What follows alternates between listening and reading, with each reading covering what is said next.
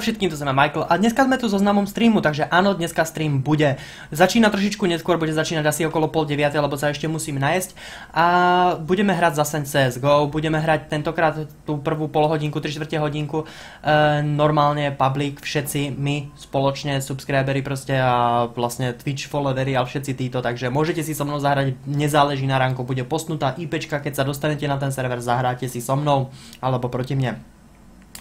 Eh, keď skončí táto časť, budem rozdávať Glocka, uh, zase Candy Apple Glock, myslím, že to je Minimalware alebo Factory New, má to hodnotu asi 1 eura, takže si to môžete vsadiť, alebo to môžete používať, lebo ste to odo mňa dostali a môže vám to spraviť takým spôsobom radosť.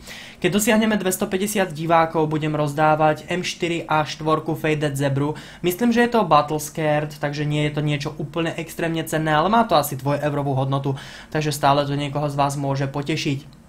Mám dva kusy tejto uh, M4 a 4, uh, takže pokiaľ dosiahneme 250 divákov, bude rozdaná prvá, pokiaľ dosiahneme 300 divákov, bude rozdaná druhá.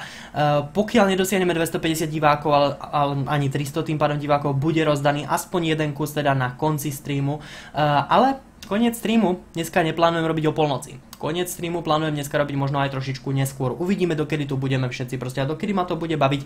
Ja chodím vám spávať až okolo 5 rána, takže možno budeme mať celonočný stream. Je to na vás. Takže pokiaľ vás tam bude dostatok, pokiaľ bude to strandy, môžeme si v pohodičke spolu zahrať.